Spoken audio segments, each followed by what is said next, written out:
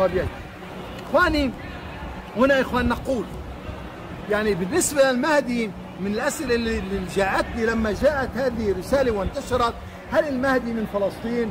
فنقول شرعا لا نعلم من أين سيخرج المهدي ولا نعلم أصل آه، أصل المهدي من أي بلد. هناك كثير من الأحاديث التي جاءت عن أصل خروج المهدي وكلها ضعيفة. مش بس ضعيفة متضاربة.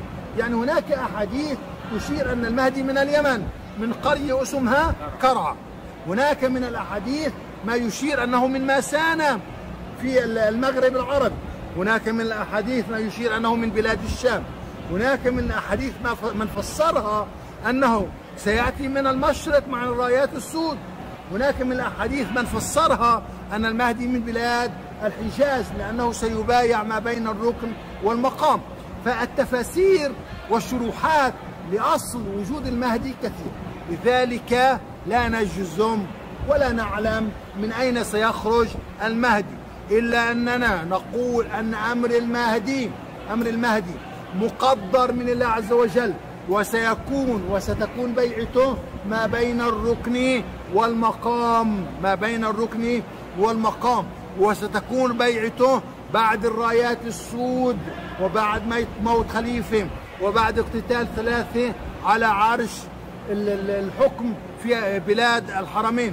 ونقول أن بيعته ستكون وستكون بعد بيعته إشارة مهمة تصدق هذا البيع ألا وهي الخسف بجيش الخسف في بيداء وقتها نقول أن هذه البيعة صحيحة. غير ذلك نقول إخواني لا نستطيع أن نحضر ولا نستطيع أن نستبق الأحداث. ولربما إخواني جاني إنسان وقال لي فلان من الناس تنطبق عليه مئات الصفات الزمانية والمكانية والجسدية التي جاءت في المهدي. ونقول ما بانت بشخص آخر تنطبق عليه آلاف الصفات.